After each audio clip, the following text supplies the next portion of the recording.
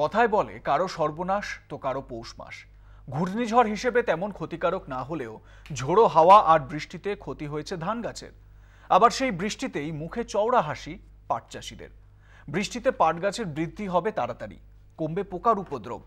আমডাঙ্গা, বারাসত, দেগঙ্গা, অশোকনগরের বিস্তীর্ণ এলাকার ধান ও পাট চাষে সম্পূর্ণ বিপরীত প্রভাব ফেলেছে অশনি। অশনির আঘাত বঙ্গে না আসলেও ঝড় বৃষ্টি কিন্তু লেগেই আছে।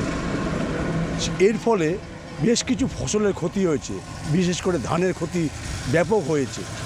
বিঘের পর বিঘে বিঘে ধান চাষিরা আগে ভাগে তুলে নিয়েছে অশনির জন্য। সেই ধান মজুত করতে গিয়ে অঙ্কুর দেখা দিয়েছে। পাশাপাশি বলে রাখি, পাটের ফলন কিন্তু ভালো হচ্ছে। ইতিমধ্যে পাট চাষিরা হাসি, হাসছে। সব জলে ভাসছে এই ধান রেখে দিলে সব অঙ্কুর হয়ে যাবে ও বিচি নষ্ট ধান নষ্ট। এখন শুকনো জায়গা নেই আকাশ যদি ধরন না দেয় তাহলে তো ধান শুকনোই যাবে না। এবার চাষিদের প্রচুর ক্ষতি আর এইসব অঙ্কুর হয়ে যাবে বিচুলি সব ফেলে দিতে হবে। এই বিচুলি কেউ মানে গরু খাবে না। কি চাইছেন? চাইছি যদি সরকার কিছু সাহায্য করে আমাদের ক্ষতিপূরণ দেন তাহলে তো খুব উপকার হয় চাষিদের। আরও বৃষ্টি হলেই আরও উপকার হবে। বৃষ্টি হলে ক্ষতি হচ্ছিল পোকা লেগেছিল পাটে নাদা পোকা পাট ঝলসে গিয়েছিল আচ্ছা।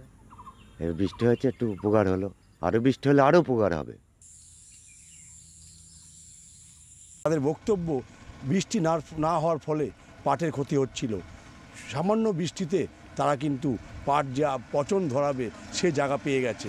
খুব আশা ছিল যে বৃষ্টি প্রয়োজন না হলে এসব পাট তো বেকার হয়ে যাচ্ছে। লেদা পোকায় এমনভাবে লেগেছে সব তো নষ্ট হয়ে যাচ্ছে রে পাটগুলো সব ডালপালা এসে যাচ্ছে, ক্ষতি হচ্ছে, খুব ক্ষতি ছিল, এখন মোটামুটি সুস্থ আছে পাট। এক কথা বলা যেতে পারে কারোর পৌষ মাস কারোর সর্বনাশ। একদিকে পাটের লাভজনক ব্যবসা তারা পাবে, পাশাপাশি ক্ষতির শিকার হবে ধান চাষিরা। দেগঙ্গার থেকে ভক্তি দে, কলকাতা টিভি।